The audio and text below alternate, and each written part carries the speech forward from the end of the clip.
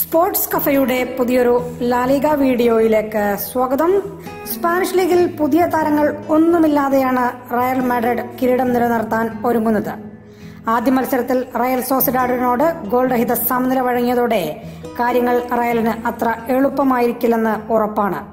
പരിക്കേറ്റ Eden Hazard Marco Asensio Lucas Vazquez എന്നിവരില്ലാതെയാണ് Real ആദ്യ മത്സരത്തിനിറങ്ങിയത്. ഇതുകൊണ്ട് തന്നെ സിനദിൻ സിദാൻ മാധ്യമ പ്രവർത്തകർക്ക് മുന്നിൽ എത്തിയപ്പോൾ എല്ലാവർക്കും അറിയേണ്ടത് റയലിൽ പുതിയ താരങ്ങൾ എത്തുമോ എന്നായിരുന്നു. ഇതിന് സിദാൻ നൽകിയ മറുപടി ഇങ്ങനെയാണ്. ട്രാൻസ്ഫർ ജാലകത്തിന്റെ സമയം ഒക്ടോബർ നാല് വരെയാണ്. അതുവരെ എന്തും സംഭവിക്കാം. ടീമിലേക്ക് ആരൊക്കെ വരുമെന്നറിയാൻ എല്ലാവർക്കും താല്പര്യമുണ്ട് നിലവിലെ ടീമിൽ ഞാൻ സംതൃപ്തനാണ്. ശരിയായ പാതയിലൂടെയാണ് ടീം മുന്നോട്ട് പോകുന്നത്.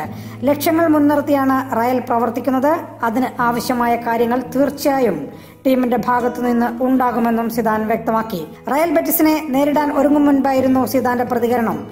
എല്ലാ കളിക്കാരും പൂർണമായി പരിശീലനം നടത്തിയിട്ടില്ല. ചിലരൊക്കെ അവധിക്ക് ശേഷം ടീമിനൊപ്പം ചേർന്നിട്ടേയുള്ളൂ. എല്ലാവരും പൂർണ ശാരീരിക ക്ഷമത കൈവരിക്കുക എന്നതാണ് പ്രധാനം. കരീം ബെൻസമയ്ക്കൊപ്പം മുന്നേറ്റത്തിൽ ലൂക്ക ജോവിച്ചിനെ കളിപ്പിക്കുന്നത് പരിഗണിക്കും. സാഹചര്യങ്ങൾ അനുസരിച്ചായിരിക്കും ടീം കോമ്പിനേഷൻ നിശ്ചയിക്കുകയെന്നും സിദാൻ പറഞ്ഞു. ഗാരത് ബെയിൽ ടോട്ടനത്തിലേക്ക് മാറിയതിനെ കുറിച്ച് ചോദിച്ചപ്പോൾ സിദാന്റെ മറുപടി ഇങ്ങനെയായിരുന്നു. പ്രത്യേകിച്ചൊന്നും പറയാനില്ല. ബെയിലിന് പുതിയ ക്ലബിൽ എല്ലാ ആശംസകളും നേരുന്നു. റയലിന്റെ കാര്യങ്ങൾ മാത്രമാണ് താൻ ശ്രദ്ധിക്കുന്നത്. അതുമായി താനും കളിക്കാരും മുന്നോട്ട് പോകും. ഫുട്ബോൾ ലോകത്തെ ഏറ്റവും പുതിയ വാർത്തകൾക്കും വിശേഷങ്ങൾക്കും സ്പോർട്സ് കഫേ സബ്സ്ക്രൈബ് ചെയ്യുക.